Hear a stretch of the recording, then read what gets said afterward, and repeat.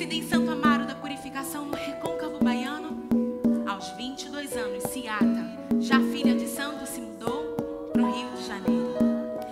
Em 1900, a Praça 11 era a capital de um reino imaginário chamado Pequena África. Um reino que seguia a religião, a cultura e a culinária da Mãe África.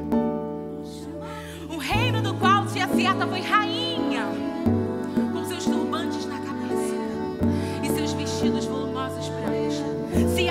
uma das precursoras do movimento das tias baianas, com seus acarajés e, claro, seus tabuleiros recheados bolos, manjares e cocadas. Naquela época, a roda de samba era proibida e marginalizada pela polícia. Mesmo assim, foi no quintal de Tia Ciata que surgiu o primeiro samba a ser gravado em disco.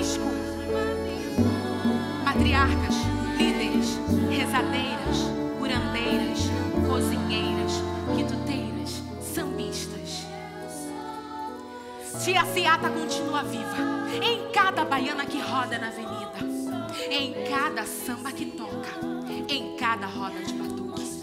Viva as tias baianas! Viva o samba brasileiro!